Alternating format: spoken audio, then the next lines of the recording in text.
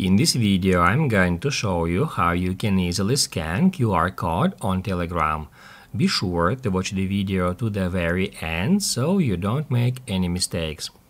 Let's get started guys and first off open up Telegram app then head over to settings and then tap right here at this QR code button and here we can create a QR code that will lead to our Telegram profile. From here we can tap at share QR code and it allows us to share it with our friends via any messenger, any social media platform, via email or messages app and also here we can save that image to our phone's gallery to share it manually later. However, unfortunately, there is no option to scan uh, someone's Telegram QR code. But don't worry, now I'm gonna show you how we can easily do so on an iPhone and on an Android. Let's start with iPhone and uh, first off we need to head over to photos where as you can see I got the QR code that I have just saved and on an iPhone all we have to do basically is just a long press at that QR code and it will show up this option. It already detects the Telegram link here and we can open it via Telegram app.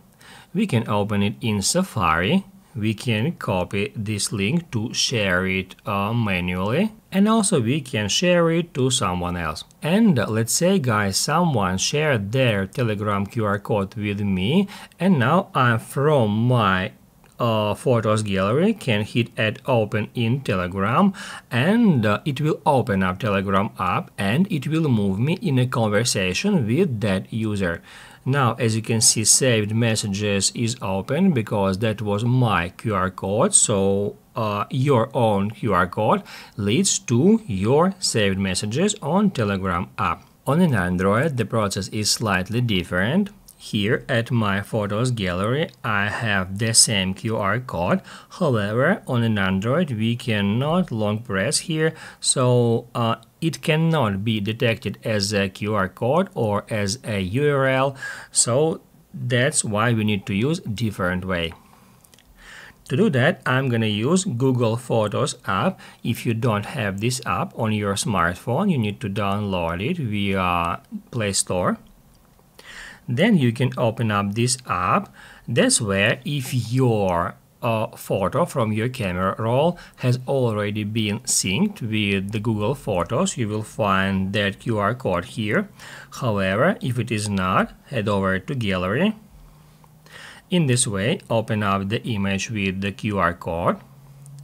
Hit right here to share it and then select Photos and then tap Add Upload it will immediately upload this image to Google Photos and then we'll be able to find it here. And now first off we need to tap at that image and then tap right here where it says lens after a second, it will detect that this QR code contains that uh, Telegram URL and uh, from here we can copy this URL, we can in the same way share it with someone, we can open up uh, this URL as a website and also we can tap right here to head over to the Telegram app and to open up a conversation with that user.